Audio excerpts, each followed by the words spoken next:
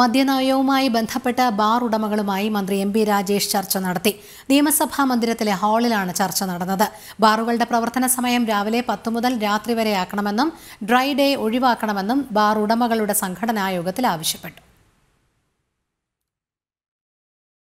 നിയമസഭാ സമ്മേളനം ചേരുന്നതിനാലാണ് മദ്യനയവുമായി ബന്ധപ്പെട്ട് ബാർ ഉടമകളുടെ സംഘടനാ പ്രതിനിധികൾ മന്ത്രി എം പി രാജേഷുമായുള്ള ചർച്ചയ്ക്ക് സഭയിലേക്ക് എത്തിയത്. സഭാമന്ദിരത്തിലെ അറുന്നൂറ്റി പത്താം നമ്പർ ഹാളിലായിരുന്നു ചർച്ച.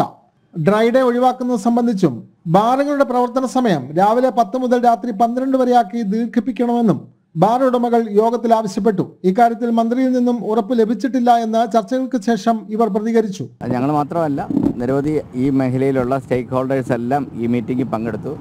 അവരെല്ലാം ഇതേ ഇതുപോലുള്ള നിരവധി ആവശ്യങ്ങൾ പറഞ്ഞിട്ടുണ്ട്. ഗവൺമെന്റ് അത് പരിശോധിക്കും എന്ന് പറഞ്ഞിട്ടുണ്ട്. ഞങ്ങൾ എല്ലാ വർഷവും ഞങ്ങൾ പ്രതീക്ഷയാണ് ഞങ്ങളുടെ ജീവിതം എന്ന് പറഞ്ഞാൽ ഞങ്ങൾ എല്ലാ വർഷവും പ്രതീക്ഷിച്ചുകൊണ്ടിരിക്കുകയാണ്. പരിശോധിക്കാമെന്ന് മാത്രമേ പറഞ്ഞിട്ടുള്ളൂ. പ്രത്യേകിച്ച് ഉറപ്പൊന്നും തന്നിട്ടില്ല. ബാർക്കോഴ വിവാദത്തിൽ തിരുവഞ്ചൂർ രാധാകൃഷ്ണന്റെ മകൻ അർജുൻ രാധാകൃഷ്ണൻ ബാർ ഉടമകളുടെ വാട്സപ്പ് ഗ്രൂപ്പിന്റെ അഡ്മിൻ ആണെന്ന വാർത്തകൾ പുറത്തു വന്നിരുന്നു. എന്നാൽ ഇക്കാര്യത്തിൽ അന്വേഷണം നടക്കട്ടെ എന്നാണ് ബാർ ഉടമകൾ പ്രതികരിച്ചത്. അർജുന്റെ ഫാദറിലയുടെ പേരിലുള്ള നമ്പറാണ് അപ്പം അത് അദ്ദേഹം ഉപയോഗിച്ചു എന്നുള്ള തരത്തിലാണ് വന്നിരിക്കുന്നത്.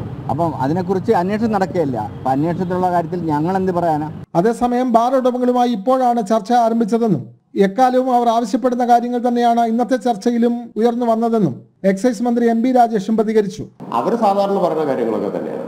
അവരെല്ലാ കാലത്തും പറഞ്ഞുകൊണ്ടിരിക്കുന്ന കാര്യങ്ങളെ പറഞ്ഞു. മദ്യനയത്തിലെ ഇളവിന് വേണ്ടി കോഴ നൽകാൻ ബാർ ഉടമകളിൽ നിന്നും പണപ്പിരിവ് ആവശ്യപ്പെട്ട് പുറത്തു വന്ന ശബ്ദ സന്ദേശത്തോടു കൂടിയാണ് ഇടത് സർക്കാരിന്റെ പുതിയ മദ്യനയം വിവാദമായത്. ജനം തിരുവനന്തപുരം.